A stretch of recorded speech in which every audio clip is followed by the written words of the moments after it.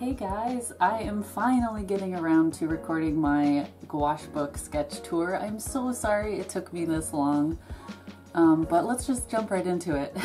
so this is a typical um, Moleskine watercolor sketchbook. Uh, they call it the large size and it's five by eight inches around there.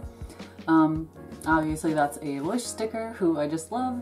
I always put at least one sticker on each one so I can really quickly remember which sketchbook is which. Um, I have a couple sticky notes in here from when I first started the sketchbook, which uh, was for the Nathan Fowkes Schoolism Landscape Sketching course. And uh, I mentioned that in previous videos, but this was a lot of the homework assignments, which is what most of the sketchbook was filled with. So it started off with um, study value studies and color studies. So a lot of these first pages that I'm going to show you are based on that. And the whole sketchbook was painted with these colors. So just the primary red, blue, yellow, and black and white. So I left them there as a reminder that everything you see was created with that. And I also used this larger flat wash brush. So even though these are tiny paintings, one of Nathan's uh, recommendations was using a really large brush. So it forces you to see the whole picture um, from the beginning of the painting and not get bogged down by little details. So anyways, let's just jump into the art.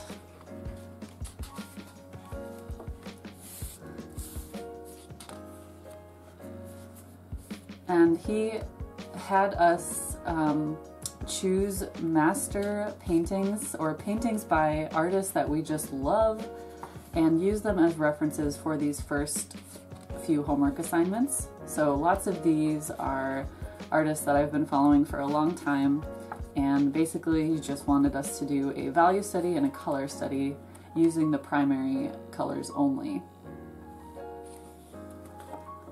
It was a really good way to start my gouache, my serious gouache journey.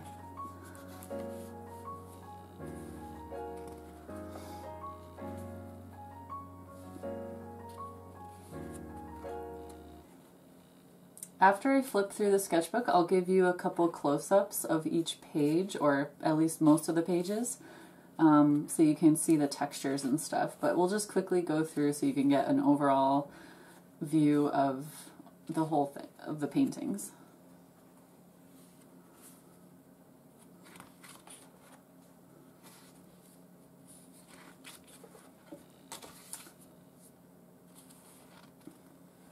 These are when I just started branching off into my own practice um, and I was it was winter and so I was very heavily influenced by the landscapes outside and was a kind of obsessed with snow at the time, as you can see. Lots of snow pages. Um, the reason this sketchbook looks so clean and tidy is because I used the blue painter's tape to tape off every single page, just depending on what size I was working with. And it kind of became addicting. Like I really love how clean it looks and it's so easy to just tape it off. And even though it might look really messy while I'm painting, as soon as you peel that tape off, you're just like left with this beautiful clean look and it just makes the whole sketchbook look cohesive.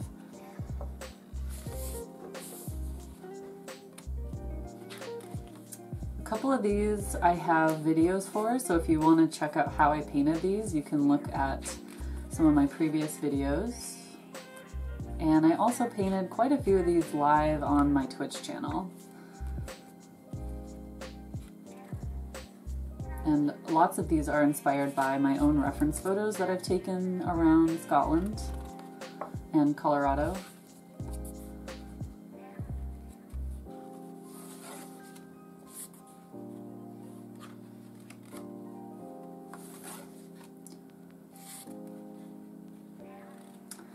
And that's our last page.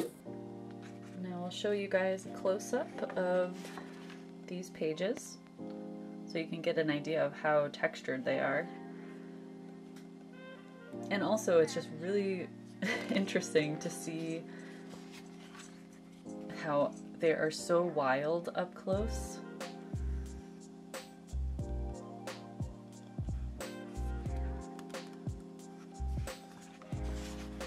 When you back up a little bit, everything just kind of comes together and suddenly you're looking at a landscape. I remember doing these little guys and thinking, okay, I'm using this giant brush, this is just crazy. But it really forced me to get um, very creative and be more resourceful with my mark making.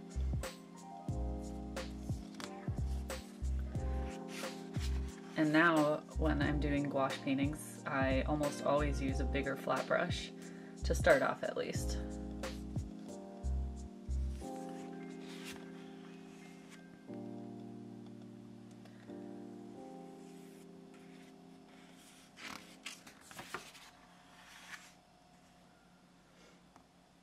These tree ones were very tricky. So much going on in such a little space.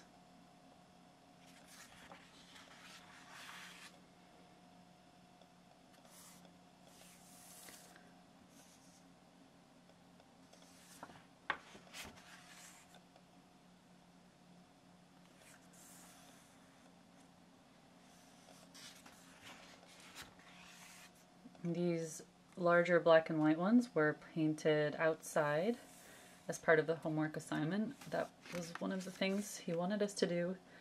And this boat one was really difficult because it was moving, so I had very little time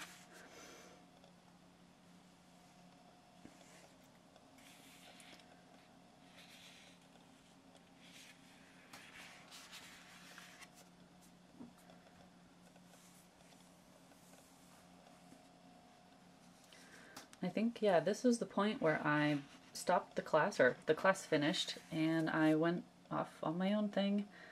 So I just continued doing a lot of the things that I learned in the class, painting both plein air and from my own reference photos, or like a photo someone sent me. Um, like when I'm streaming on Twitch, sometimes I'll be like, hey guys, give me a photo to paint.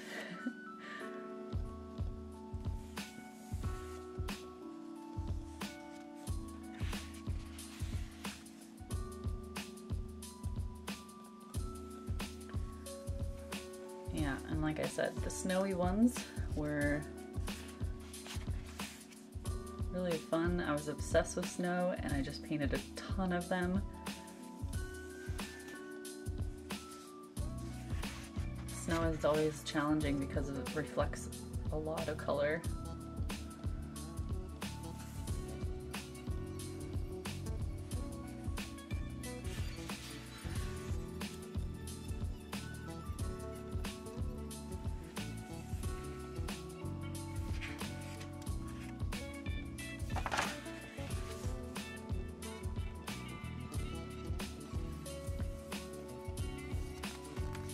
Doing value studies before the color study is now um, something that I do for all my commissions and personal work.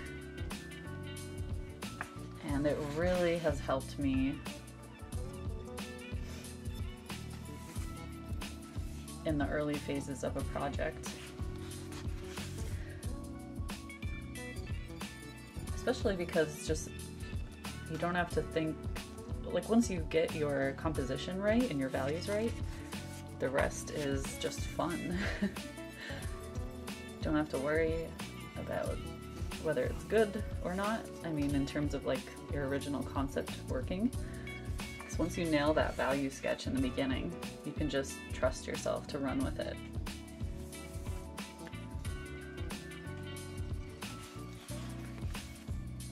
It's a double page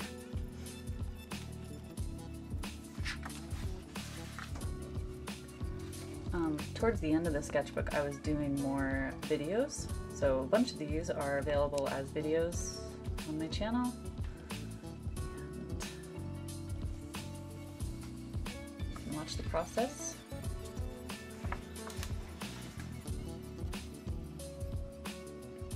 I think several of these pages I painted on my Twitch channel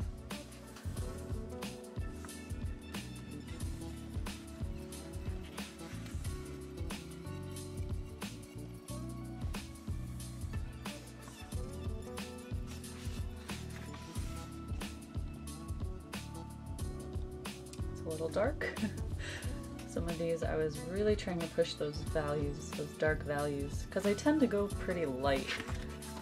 Oh, yeah, I don't know if I showed this before, but this is a salt wash with gouache. Salt wash gouache. and it is quite textured. And it was the first time I had tried it, so that was cool.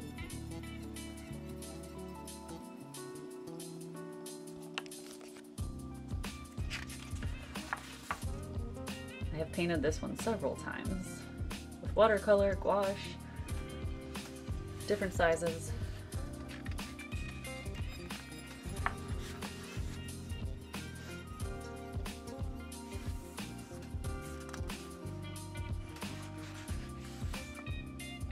This one was so hard.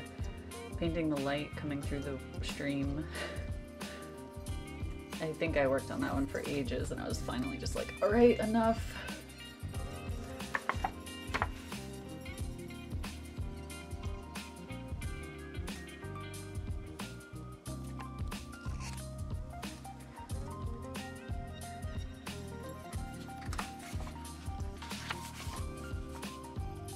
Go.